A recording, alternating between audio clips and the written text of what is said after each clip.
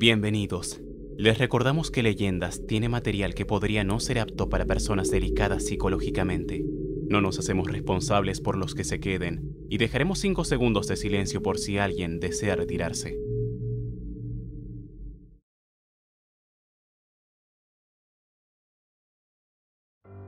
La información es poder. Día a día empresas se matan por información que les dé ventajas. La gente busca la verdad entre mentiras. Imaginen que pueden saber qué número saldrá en la lotería, si hay vida después de la muerte o cómo curar el cáncer. ¿No les gustaría saberlo? La información es todo eso y más. Así que no es raro que algunos vayan a extremos para conseguir información. De eso se trata el juego de hoy. Pero cuidado, el poder no es gratis. Bienvenidos a Leyendas número 14. Hoy, el hombre de las respuestas. Se cree que empezó en un país asiático, probablemente Japón.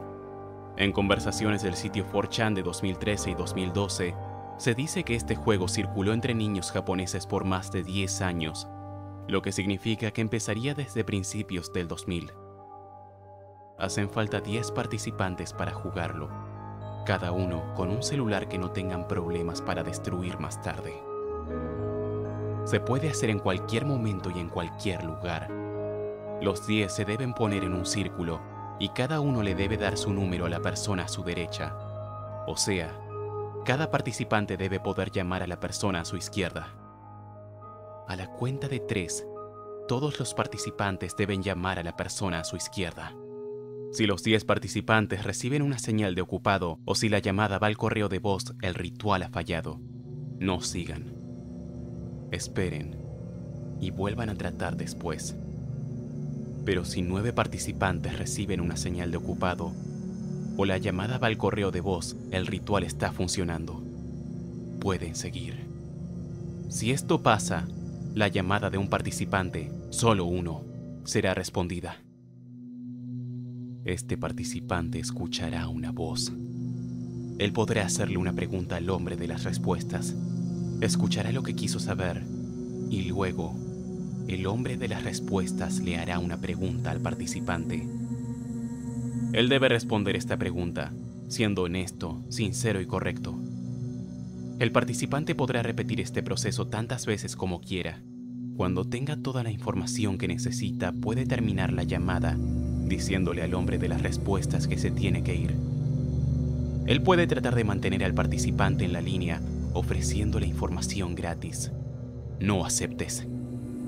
El participante debe repetir que necesita terminar la conversación. Si persiste, el hombre de las respuestas se despedirá y terminará la llamada. Después de terminar, destruyan todos los celulares que usaron para hacer el ritual. Información extra. Se recomienda que los participantes guarden los números en sus contactos para facilitar la llamada. Una vez que contacten con el hombre de las respuestas, no lo pasen a otros participantes para hacer preguntas. Hay una razón por la que el hombre de las respuestas eligió a uno de ustedes. No habla con cualquiera. No lo pongan en modo altavoz y destruyan todos los celulares usados para el ritual tan pronto sea posible. Incluso si colgaron, o si solo estaban entre los nueve que no lo contactaron en primer lugar, nunca saben lo que los puede tratar de llamar.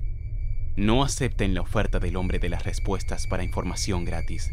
Es un maestro encontrando formas de persuadir. Encontrará una forma de preguntarte algo y hacer que sigas hablando hasta que te pregunte algo imposible de responder. Y si eso pasa, hay una razón por la que no debes fallar al responder. Si mientes, directamente u omitiendo información, sentirás un hormigueo suave en una parte de tu cuerpo.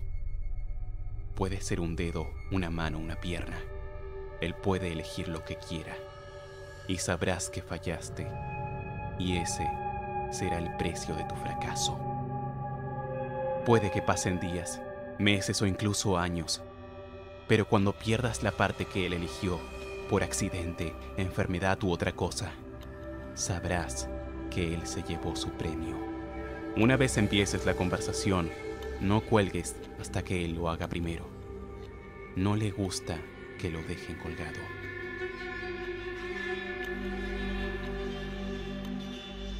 Esto fue todo por hoy.